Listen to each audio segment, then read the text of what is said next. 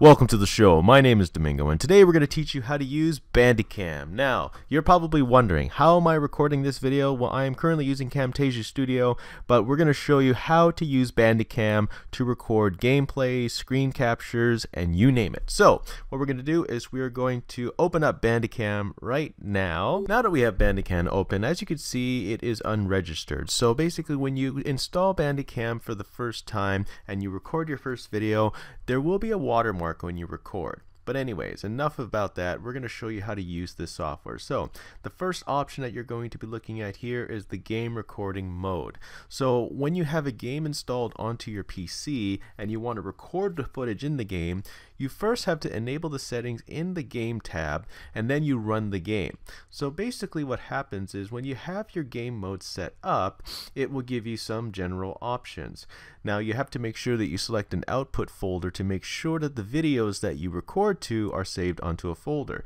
By default, it'll usually be through the C drive, users, your name, the documents folder, and a Bandicam folder. And to access that at any time, what you can do is you can click open and then it'll directly access access the folder. So what I've recorded on Bandicam are two Quake Champions videos. So I have those already recorded for another project. We're just going to not worry about it right now. You can also set the option for Bandicam, Windows always on top. You can start Bandicam minimize to tray, or you can run Bandicam on Windows startup. And then you can go into the advanced tab and look at the other options right here. And then hooking is basically for DirectX applications and Windows Store apps. You can also set the language, you can also go others, and then you can go rec video recording settings, video format settings. You can set the format however you like. I have my format set to MP4 full size, 30 frames per second. The codec is H.264, then quality is at 80%, and then the audio you can customize yourself.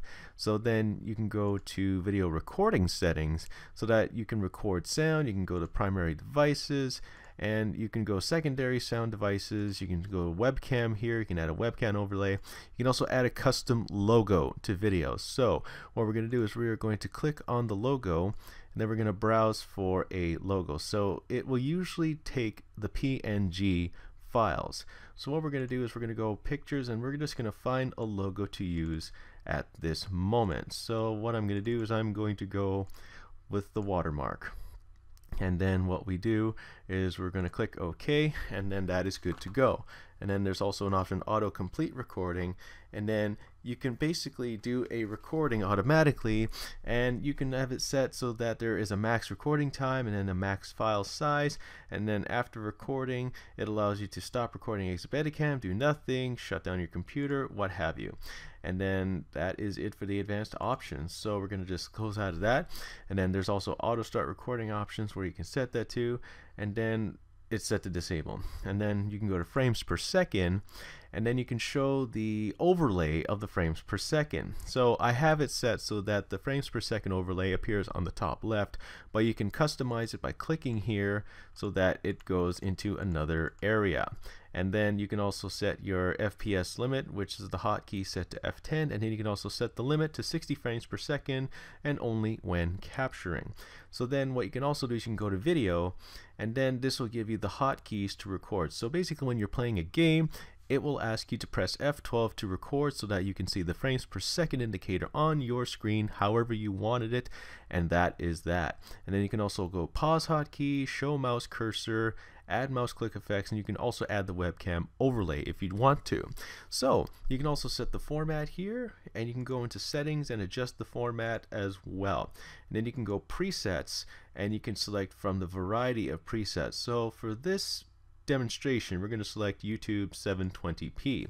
So it'll set it accordingly to what your preferences are whatever format you select. And then you can also do screenshots, so you can click on image, and then the image key is basically F11. So F11 is photos, F12 is videos, and then there's also a repeat screen capture function, and then you can also set to BMP, PNG, JPEG, or JPEG high quality and then there's a second indicator as well and then there's also output and this is where it takes you to the output folder so that is how to do it then you also go to images as well it all saves in the same folder. And then it also has about, which basically tells you to allow for about and that sort of thing. And then the unregistered package usually has 10 minute videos with watermark. And then if you want to remove the watermark, you can purchase Bandicam from bandicam.com. You can click on the register link and then you go how to purchase and register, that sort of thing.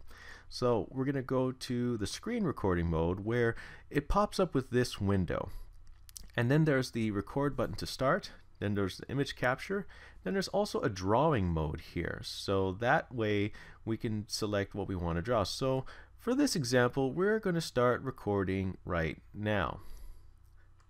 And then we're going to select a pen option as well. So we're going to start recording as I'm recording. Alright, so it's recording right now, and as you can see, the vectors change as you move through it so that it's like moving anywhere you go. And then you can also set arrows if you like, so you can set like a big arrow right here pointing at certain things. And then you can also use like a highlighter to circle certain things as well. And you can also do like a pencil function where you can like scribble everything. And you can type whatever you like or write whatever you like. And there's also numbers. So number one you go to paperwork. Number two you press the record button number three you go to disable and then number four close the program that sort of thing I mean that's pretty neat and then you can also use arrows and that sort of thing. I mean, it's not it's not bad. I mean, it's pretty pretty neat. You can undo effects as you come along here. Then you can also highlight stuff, and then you can also set whatever you like. It's it's pretty cool. And then you can set squares. I mean, that's that's pretty nice. Then you can close out of that, and then you can stop the recording. So the recording saves into the Bandicam folder. So we're just going to kick out of this, and then we're going to go to Open, so that we can open up what we just did. So we're going to double click that.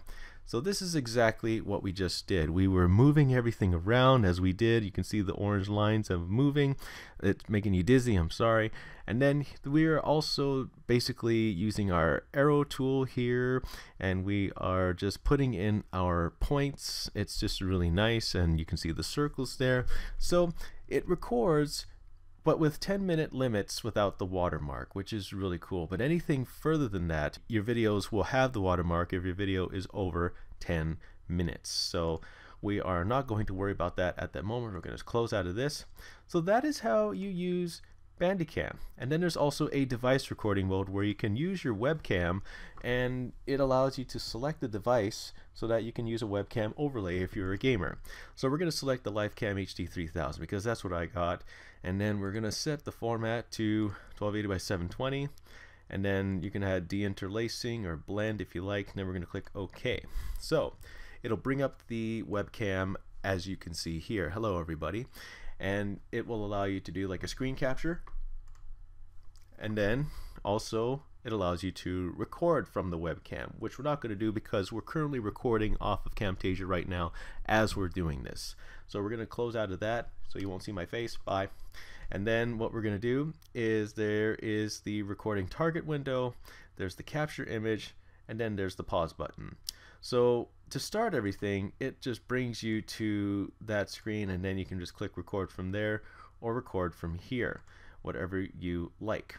And that is basically it. That's how to use Bandicam and it's a pretty simple setup on how to record stuff from your screen and it doesn't have as much like zoom in features but it's a pretty good recording software when you want to just record something quick and easy but anyways guys thank you so much for watching this video. I want you to know that I appreciate all the support that you give me and I appreciate all the subscribers and attention that I've been getting because it's just been so difficult to come up with some really great ideas.